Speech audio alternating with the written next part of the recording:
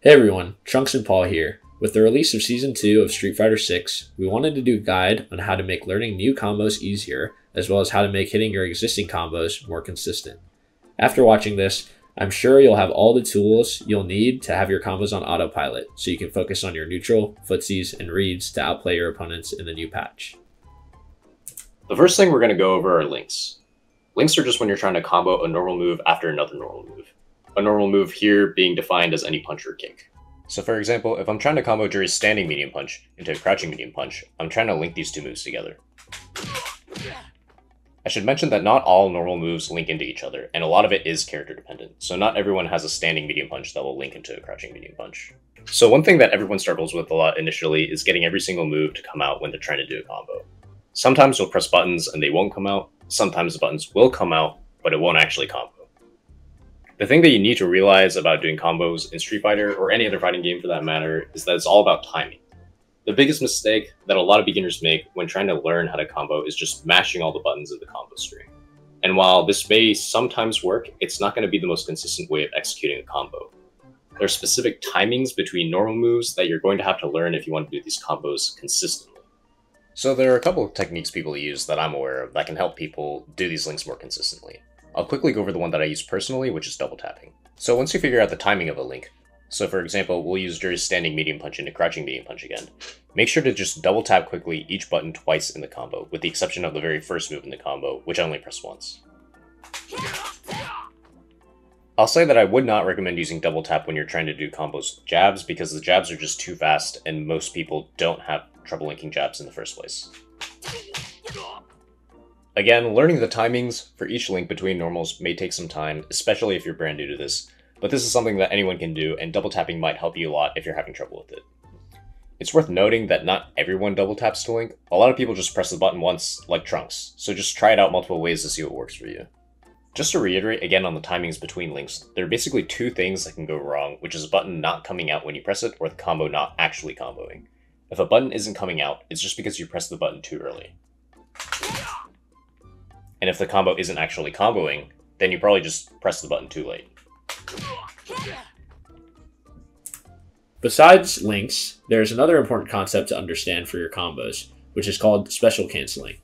A special move is just any move with a motion input, and if you're on modern, it's just any move that uses the special button. These moves are a bit different than regular moves because you can buffer a special move right after a button without needing to time anything like a link. It's important to note that not all punches or kicks are special cancelable.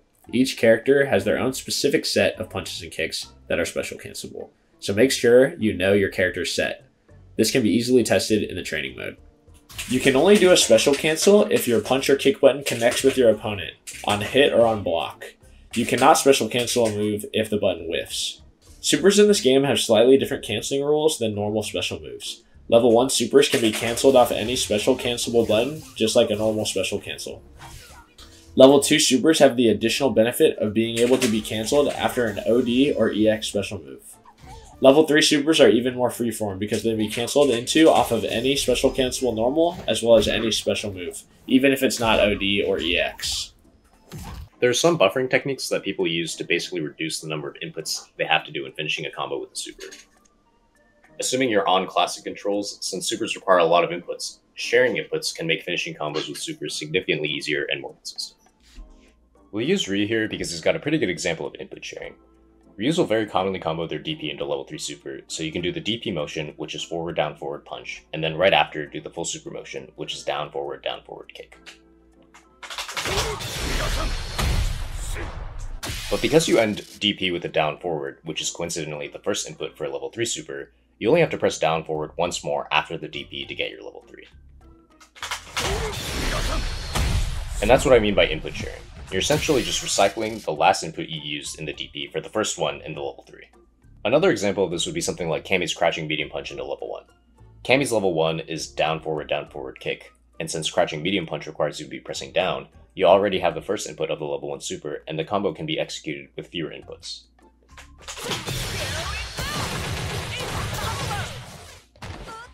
Another tip if you're still struggling with just pressing all the inputs fast enough, make sure you're inputting the super right after you press the previous button.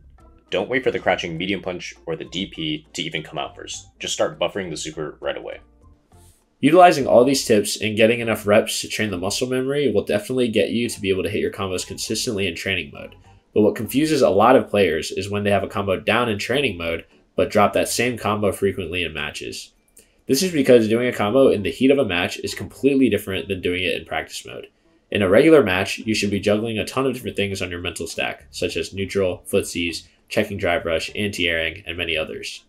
The ability to juggle all these things, as well as recognizing when you earn a hit and routing into the correct combo conversion, is a completely different skill than just doing the actual combo in practice. This is something I like to call switching gears. You need to train the skill by bringing your lab combos into tense matches. So don't be too hard on yourself when you drop a combo you've been labbing in your games. It's all part of the process, and the fact that you even went for the new combo is a huge step in the right direction. Make sure to recognize the small wins in the learning process, and you'll be able to hit your combos all the time without thinking about it very much at all, or it hindering your mental stack in a tense match. That'll conclude our presentation on combos. Thanks for tuning in, and if you enjoyed the video, please consider leaving a like, commenting, or subscribing as it helps me out a lot. I also started a Discord server full of people trying to have fun and improve in Street Fighter 6, so check the description for a link to join. I'll also be streaming every Monday, Wednesday, and Saturday at 5 p.m. Eastern, so come by to see me beat up Paul with Akuma.